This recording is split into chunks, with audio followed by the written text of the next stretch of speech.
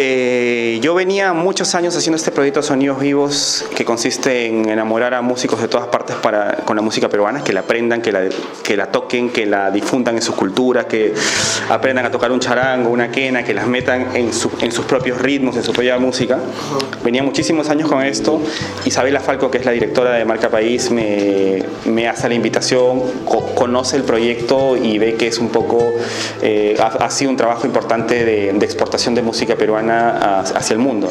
Me propone ser embajador de Marca Perú, yo feliz de la vida, porque imagínate, es un, realmente es un honor para mí ser embajador de Marca Perú. Realmente, es realmente sentir un respaldo por primera vez, después de tantos años estar haciendo esto, después de tantos años de estar viajando y, llevando el Perú hacia afuera, eh, el hecho de que, de que tu país te reconozca, ¿no? el, hecho de, el hecho de sentir el apoyo de tu país, o sea, el hecho de que tú ya salgas igual por tus propios medios, como siempre, siempre se ha hecho, pero dices, pucha, por lo menos ahora estoy eh, somos un, somos un equipo, ¿entiendes? Y eso me parece que es importante. Y eso creo que es uno de los conceptos de la marca, ¿no?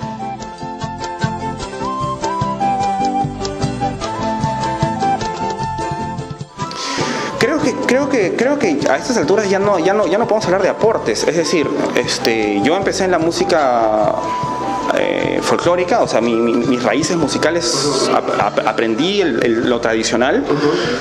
Luego, después cuando, cuando regresé a vivir a Lima y entro a la universidad, empiezo a escuchar absolutamente lo que escuchaban todos los chicos de la universidad. metí mucho al rock, al jazz, a la música clásica, al latín, a la salsa. Y finalmente mis composiciones es un reciclaje de todo lo que he escuchado en mi vida. Entonces, este, obviamente que la raíz más fuerte es la raíz folclórica, la raíz peruana, porque es con lo que aprendí. O sea, fue mis primeros acordes, mi primera banda, etcétera, etcétera. Además, eh, digamos, yo soy eh, limeño, mi mamá es bonoqueño, mi papá es cusqueño, viví en Huancayo en mi infancia. O sea, ya soy mestizo, ¿me entiendes? O sea, en ningún momento, o sea, a la hora que compongo no, no digo, ah, ya no, eh, lo tradicional, lo, no. O sea, simplemente me siento y empieza empiezo a dibujar lo que he vivido en mi vida y lo que he escuchado en mi vida y lo que me sale en mi vida. Yo creo que para nosotros los peruanos hablar del término fusión es redundar. O sea, todos estamos fusionados, todos estamos mestizos, entonces creo que, creo que por ahí va un poco el, tema de mis composiciones.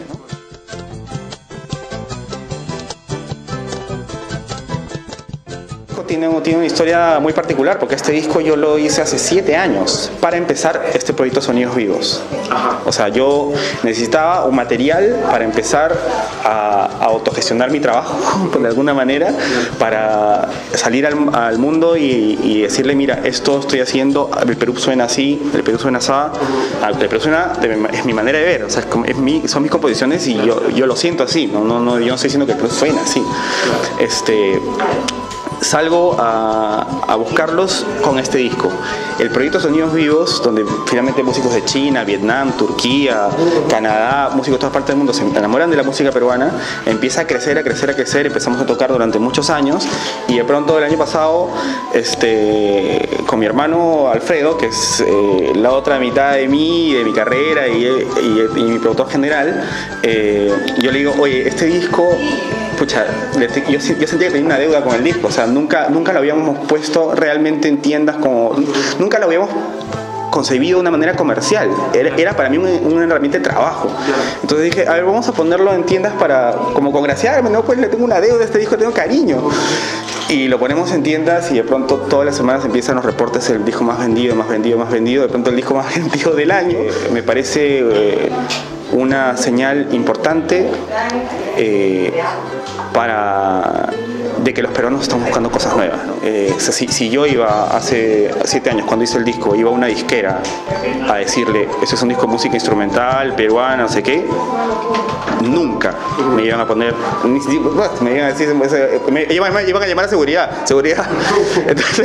este, y creo que, y creo que el, hecho de, de, autogestionarlo, de hacerlo con nuestros propios medios y probar, ha demostrado que la gente está buscando cosas nuevas y es mentira de que la gente no le va a gustar. en, este contexto es imposible pensar que un artista no considere la autogestión, o sea, que un, que un artista no considere que su, que su arte, que su trabajo es una empresa. Lo que pasa es que la palabra empresa es, es, el, es el, el, cuco para todos los artistas, porque, porque ven que no dicen, no, voy a vender mi... Voy a, o sea, no, o sea, no vas a vender nada. Tú mismo vas a autogestionar tu arte de la manera que tú creas conveniente. Justamente la autogestión es la manera más independiente y más libre de hacer tu arte. Entonces, este, eh, yo creo que eh, yo creo que la figura del artista, del romanticismo francés, de ay, ay sí, yo soy artista, me tiro en mi, cuarto y ay, tiro un lienzo por aquí, espero que alguien me toque la puerta, o sea, eso no existe.